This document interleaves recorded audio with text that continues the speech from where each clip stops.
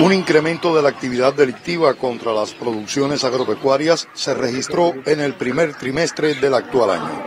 Cómo perfeccionar el enfrentamiento fue tema en los debates hoy del sexto pleno del Comité Nacional de la Asociación de Agricultores Pequeños.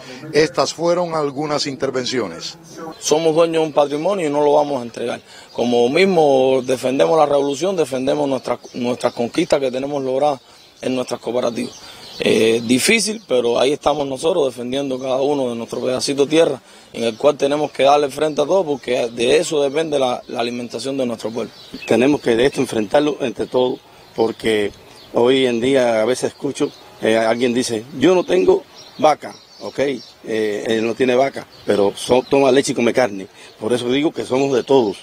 Las vacas son mías, yo las cuido, pero quien más se beneficia es el pueblo, porque yo vendo 100 litros de leche todos los días y son 100 niños que están tomando leche, 100 ancianos. Yo diría que después del bloqueo y la afectación que tenemos del bloqueo, la escasez de recursos, lo que está afectando más hoy la producción de alimentos y los precios que bajen en el mercado es el custodio que tenemos que asumir en los campos que afectan, afectan la fuerza productiva para trabajar de día, pero además afecta el rendimiento de los cultivos.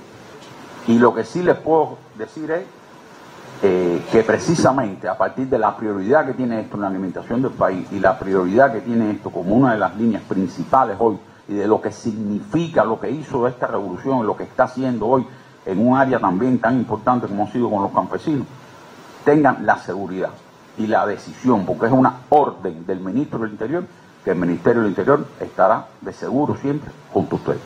Y si hay algo que molesta, molesta al hombre del campo, al campesino, que tiene actitudes bastante solidarias y cuando hace falta, de muchas maneras, de los cuales tiene una expresión, contribuye, ayuda, da lo que tiene, comparte lo que tiene pero en este caso cuando le roban algo, hay que ver lo que significa. Más información en próximas emisiones. El camarógrafo Miguel Román y Manolo Rodríguez Salas, Sistema Informativo de la Televisión.